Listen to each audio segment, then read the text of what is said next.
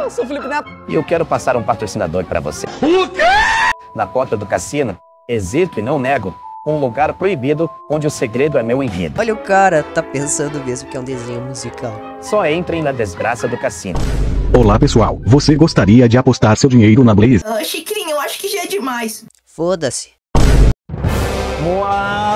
Pequenas crianças, contratos guardam segredos Ei, e... maluco, tu precisa mesmo rimar? Caralho, Chicrinho, tu é muito burro. Ontem eu comi pipoca com